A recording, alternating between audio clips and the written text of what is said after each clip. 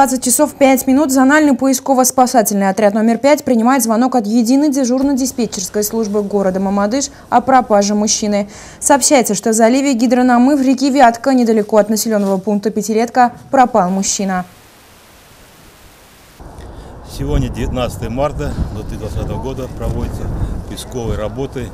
А, вчера значит, было происшествие.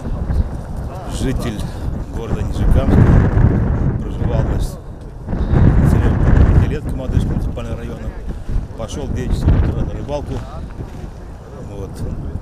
Э, племянник, значит, самый звонил, долгое время, значит, самый рыбак, данный рыбак к ним ходил на связь, а, пришел на поиски, пришел на, пришел на место, где, значит, он знал, где рыбак рыбачит, обнаружил, что, значит, на, э, на, на, на льду находится термос, вещи там, или самое, и вот пошло сообщение. Сообщение о происшествии на воде. Дежурная смена отреагировала, взяв снаряжение, выдвинулись к месту происшествия, обнаружили это место. И в ходе работы проводилось поиск методом тролления. То есть есть специальный шест с крючками. То есть в ходе поиска были обнаружены рыбака, который установили родственники, что это действительно его был.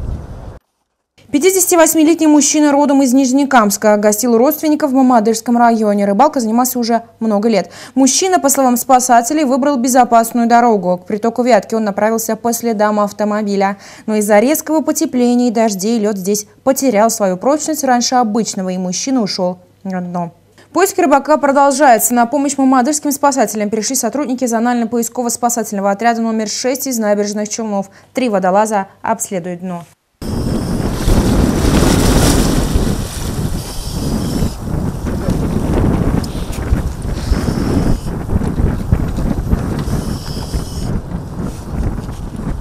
Тело мужчины с сильным течением могло унести к реке, поэтому спасательная операция растянулась на несколько дней. Там больше метра лед. Проверяли сами. Да. Ну, да, сантиметров да, 40 есть. Проверяли 40? сами? Да, да, да. да. Как вы забирали? Буром, Буром, что ли? да. Буром.